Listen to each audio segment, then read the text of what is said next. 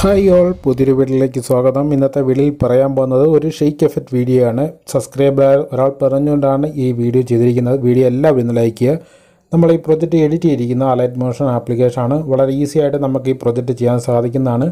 ആദ്യം നമുക്ക് demo video കണ്ടതിന് ശേഷം എങ്ങനെ എഡിറ്റ് ചെയ്യുന്നത് പറഞ്ഞു തരുന്നതായിരിക്കും. മനുഷ്യത്വം സ്റ്റൈലൊക്കെ ഉണ്ടെങ്കിലും ആൾ ടെററിസ്റ്റിനേക്കാൾ ഡേഞ്ചർ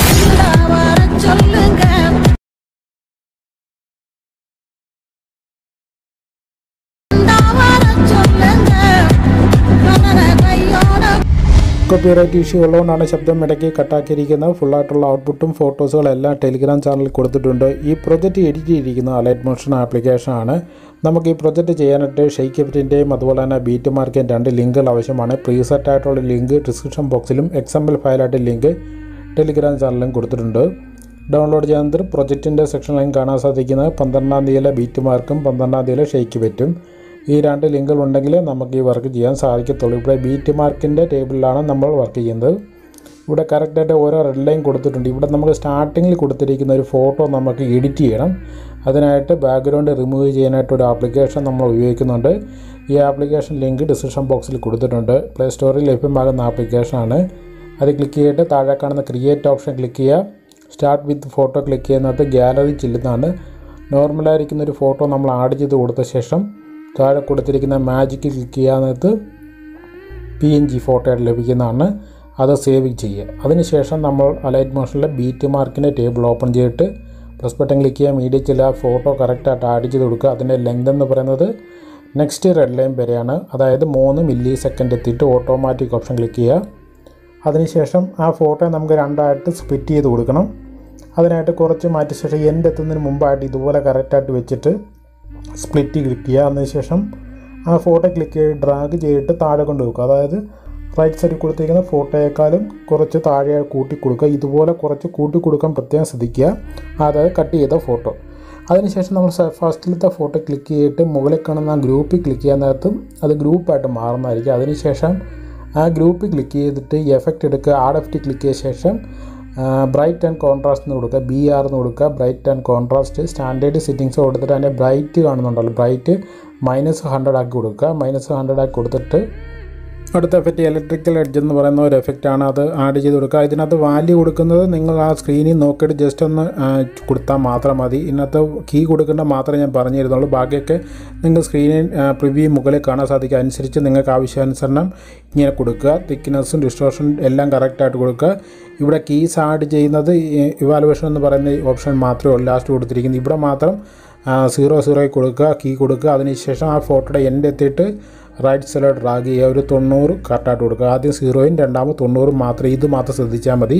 ബാക്കിയൊക്കെ നിങ്ങൾ പ്രിവ്യൂ കണ്ടുകൊണ്ട് മാത്രം ചെയ്യുക അടുത്ത എഫക്റ്റ് എന്ന് പറയുന്നത് ഫെയ്ഡ് ഇൻ ഫെയ്ഡ് ഔട്ട് ഓപ്ഷനാണ് fade എഫക്റ്റാണ് fade in fade out standard സെറ്റിങ്സോടെ select ചെയ്യുക. അതിനകത്ത് ഫെയ്ഡ് ഇൻ മാത്രം സീറോ കൊടുക്കുക. ഫെയ്ഡ് ഔട്ട് ഫിഫ്റ്റി തന്നെ കൊടുക്കുക. അടുത്ത എഫക്റ്റ് നമ്മൾ കൊടുക്കുന്നത് കറക്റ്റ് ഫെയ്ഡ് ഇൻ കൊടുത്ത ശേഷം വൈപ്പ് എന്ന് പറയുന്ന എഫക്റ്റാണ് ആ ഗ്രൂപ്പിലാണ് നമ്മൾ ഈ എഫക്റ്റ് എല്ലാം കൊടുക്കുന്നത്. അത് പ്രത്യേകം ശ്രദ്ധിക്കുക. അടുത്തായിട്ട് ഗ്രൂപ്പ് സെലക്ട് ചെയ്യുക വൈപ്പ് എടുക്കുക. Sorry R F T click ചെയ്തിട്ട് വൈപ്പ് എന്ന് പറയുന്ന എഫക്റ്റാണ് സെലക്ട് ചെയ്യുക. ഡബ്ല്യു ഐ പി സ്റ്റാൻഡേർഡ് സെറ്റിങ്സോ സെലക്ട് ചെയ്യുക. അതിനകത്ത് വൈപ്പ് സെലക്ട് ചെയ്തിട്ട് ആംഗിൾ ഒരു ഫോർട്ടി ഫൈവ് ഡിഗ്രി കൊടുക്കുക നാൽപ്പത്തഞ്ച് ഡിഗ്രി കറക്റ്റായിട്ട് കൊടുക്കുക. അതിനുശേഷം എൻഡ് ക്ലിക്ക് ചെയ്യുക. അതിന് മുമ്പായിട്ട് നമുക്ക് എൻഡ് കുറയ്ക്കുന്നതിന് മുമ്പ് ഫെയ്ഡും എൻഡ് ഫോട്ടോ കാണാൻ മേലാത്ത രീതി ഫുള്ളായിട്ട് വെക്കുക. എൻഡ് ഫോട്ടോ കാണാൻ മേലാത്ത രീതി വാല്യൂ കുറയ്ക്കുക. അതിന്റെ ഫെദർ സെലക്ട് ചെയ്ത ശേഷം ഒരു ഒമ്പത് പത്താക്കി കൊടുക്കുക. കറക്റ്റായിട്ട് ഒമ്പത് കൊടുക്കുന്നുണ്ട്. അതിനുശേഷം എന്റെ സെലക്ട് ചെയ്തിട്ട് സ്റ്റാർട്ടിങ്ങിൽ ഒരു കീ കൊടുക്കുക. അതിനുശേഷം സ്റ്റാർട്ടിങ്ങിൽ തന്നെ കുറച്ച് മാറ്റിയ ശേഷം അത് ഫോട്ടോ ഫുള്ളായിട്ട് കാണുന്ന രീതിയിൽ ഇതുപോലെ തന്നെ രണ്ടാമത് കീ ക്ലിക്ക് ചെയ്ത ശേഷം ഫുള്ളായിട്ട് കാണുന്ന രീതിയിൽ വെക്കുക. അപ്പോൾ നമുക്ക് ആദ്യം നമുക്ക് ഫെയ്ഡ് ആയിട്ടായിരിക്കും വരുന്നത് കാണുന്നുണ്ടല്ലോ. ഫോട്ടോ തെളിഞ്ഞ് വരുന്നതും അതിനുശേഷം രണ്ടാമത്തെ ഫോട്ടോയുടെ എഫക്റ്റ് എങ്ങനെ കൊടുക്കണമെന്ന് പറഞ്ഞു തരാം അതിനു മുമ്പ് നമുക്ക് ടെക്സ്റ്റ് കൊടുക്കാം. മൂന്ന് മില്ലി സെക്കൻഡ് എത്തിയിട്ട് സോറി മൂന്ന് സെക്കൻഡ് എത്തിയിട്ട് ഇന്ത്യൻ ആർമിയിൽ നിന്ന് കൊടുക്കുക രണ്ടായിട്ട് ഇങ്ങനെ രണ്ടായിട്ട് കൊടുക്കാം.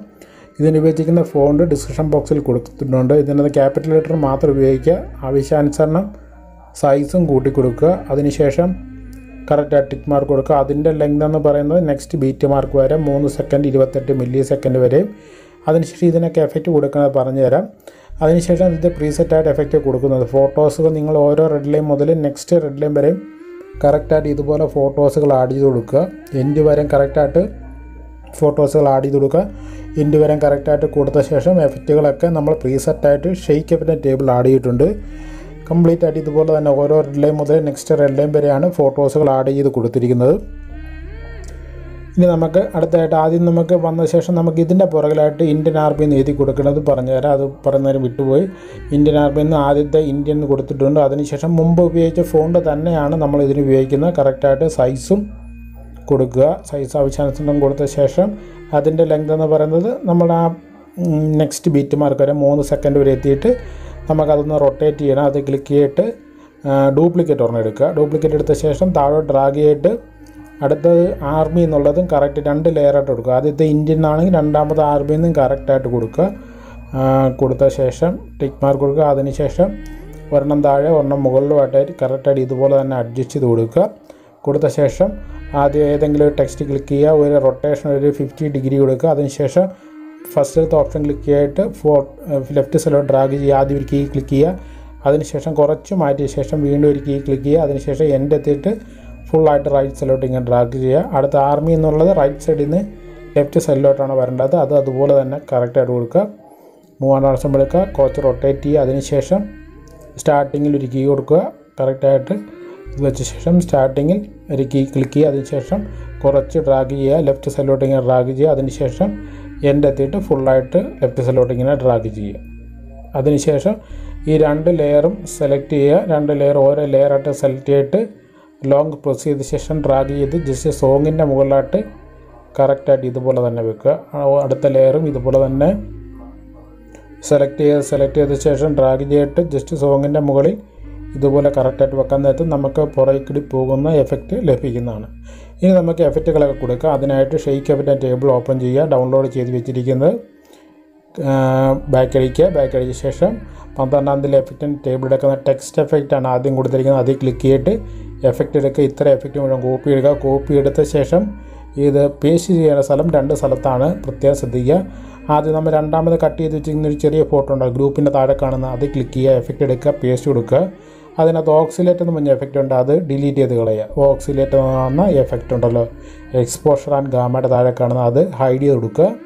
ഹൈഡ് ചെയ്ത് കൊടുത്താൽ മാത്രം എന്താ നമുക്ക് ആ പ്രിവ്യൂ കണ്ടിരിക്കുന്ന എഫക്റ്റ് അവിടെ ലഭിക്കുന്നതാണ്.